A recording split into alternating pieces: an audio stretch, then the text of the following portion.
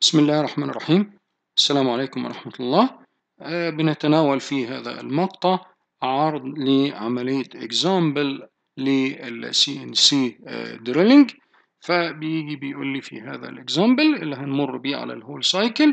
We will learn the basics of whole cycles by programming a machining sensor to create the holes in this parts we will start with يبقى هنبدا شوف إيه العمليات اللي هتعمل نمرة واحد اللي هي إيه؟ ال spot drilling نمرة اثنين continue peck drilling نمرة ثلاثة هنخلص بال tapping يبقى إذا هو وضح لي إن عندي ثلاث عمليات ولازم الترتيب اللي هو ماشي بيه ده. نمرة واحد spot نمرة اثنين peck نمرة ثلاثة هيبقى ال tapping أو ال thread اللي هنعمله في ال holes اللي إحنا كري عملنا لها creation قبل كده.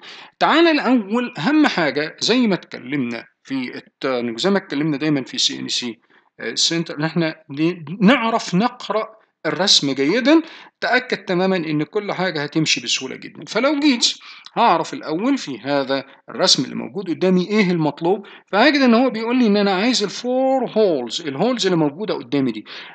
ال holes اللي موجودة قدامي قال لي ال work parts zero أهو ال part zero أهو اللي موجود قدامي. كده كويس عرفت إيه نقطة البداية. ومن الأبعاد اللي موجودة قدامي يبقى أنا هشتغل إيه؟ absolute طيب تعال نشوف ال holes المواصفات بتاعتها إيه أو ال specifications بتاعتها إزاي قال لي عندك هنا four holes ال phi ب 25 من 100 انش الأبعاد بالإنش والعمق بتاعها بإيه؟ ب 0.75 طيب هتعمل ال holes دي إزاي؟ أول حاجة هنعمل لها ال center drill ال center drill اللي عبارة عن زاوية أهو بال drill زاويته قائمة وال phi بخمسة من عشرة أنت ملاحظ إن هي في ال hole أهو الخارجي الدايره الخارجيه والدايره الداخليه الدايره الخارجيه دي بتمثل لما أنا اخد لما خدت ال plan بتاعت الشغلانه وضحت لي ان ال hole الخارجي الدايره الخارجيه دي بتمثل هي الخمسة من عشرة آه inch diameter بتاع ال spot drilling وال angle بتاعت ال spot drill كانت بايه؟ ب 90 طيب تعالى كمان بقى يبقى كده أول حاجة دي ال spot drill عملناه وعرفنا إن هم أربعة hole في 25 والعمق ب 75 تعالى بقى نقرأ ال thread اللي إحنا قلنا لازم نعرف نقرأه عشان نعرف نعمل عملية اتشغال 5 على 16 إنش ده ال nominal diameter وبعدين 18 اللي هي ركز ركز قوي في هذا الجزء لأن هتحتاجه جدا في ال program.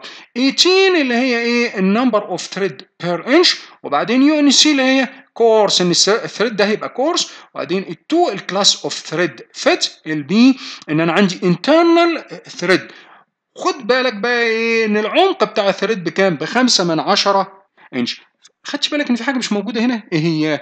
اللي هي ال اتش ال اتش يبقى left hand طالما لم يذكر ال LH it means إن أنا إيه؟ شغال right hand يبقى ده اوتوماتيك أنا عرفت إن هستعمل G 84 في ال tapping لأن هنا ده right hand thread دي القراءة وعرفنا فين ال home position اللي موجود اللي هنبدا نبدأ منه عملية إيه؟ التشغيل وعرفنا كمان إن أنا هشتغل absolute